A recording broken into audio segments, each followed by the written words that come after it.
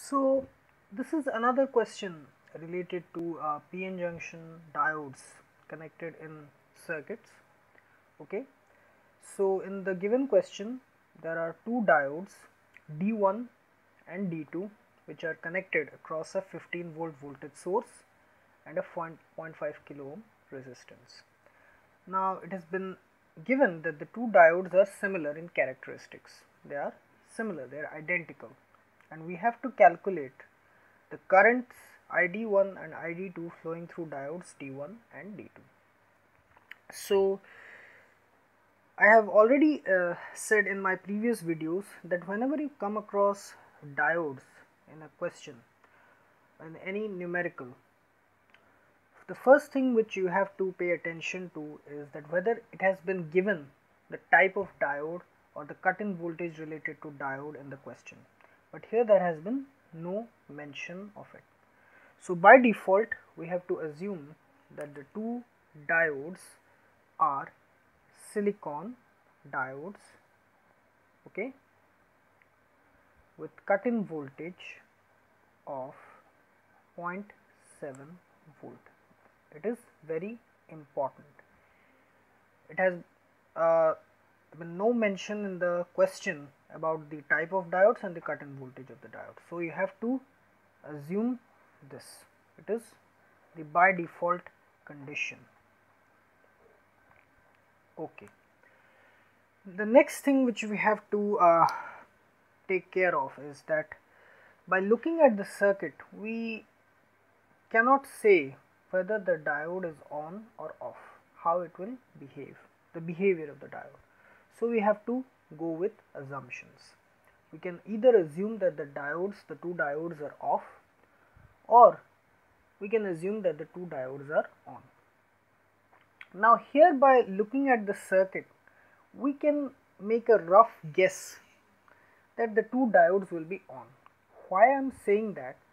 Because the p-type end is connected to the positive terminal of the voltage source both the p-type ends of the diode are connected to the positive terminal of the 15 volt voltage source and the n-type ends are connected to the negative terminal. I am not sure about it, but we can just have a rough guess in order to save time. We can assume that the two diodes are on. We can go wrong with this, but just by looking at the circuit, we can say, we can have a rough guess that the two diodes are on. So let us go in with that assumption that the two diodes are on and let us draw the equivalent circuit. So 15 volt the voltage source then 0.5 kilo ohm resistance this is the diode D1 and this is the diode D2. So here we will replace the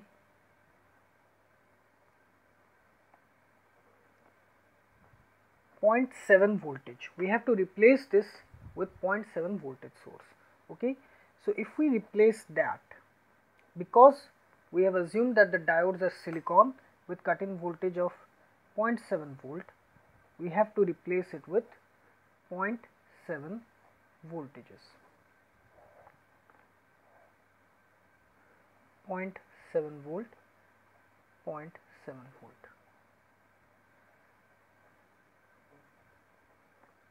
Here it is ID1 here it is ID2 now let us apply KVL in this loop to determine ID1 let us name this current as I.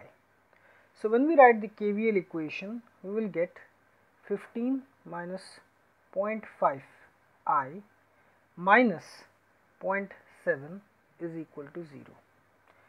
That implies 15 minus 0.7 is equal to 0.5 i. That implies 0.5 i is equal to 14.3. That implies i is equal to 14.3 by 0.5 which is equal to 14.3 by 1 by 2 is equal to 28.6 milliampere. 28.6 milliampere. So this current I is equal to 28.6 milliampere. Now it has been given that the two diodes are ideal, they are identical. So another important concept which we come across here is that when it has it is mentioned in the question that the two diodes are identical, they are similar and are connected in this fashion, the current gets equally divided into those two diodes. So here the current flowing is 28.6 milliampere and here there are two diodes which are completely similar, they are identical diode D1 and diode D2 they are identical it means that they will the currents ID1 and ID2 will be equally divided. So ID1 will be equal to ID2 which will be equal to 28.6 by 2 is equal to 14.3 milliampere. Okay, so this is another important concept which we studied.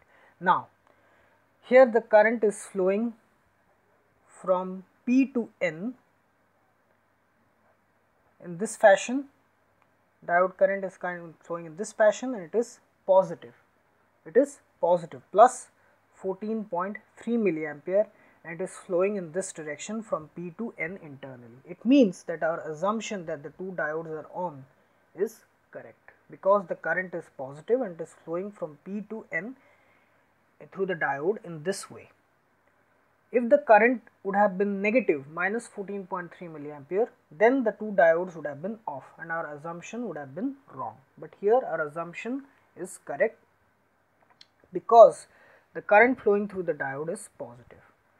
So, the important concept to study here or to take note of here is that whenever you come across diodes connected in this fashion and it has mentioned in the question that the two diodes are identical, they are of similar characteristics no matter which diode it is, whether it is silicon or germanium or whatever diode it is, the current gets equally divided through these two diodes.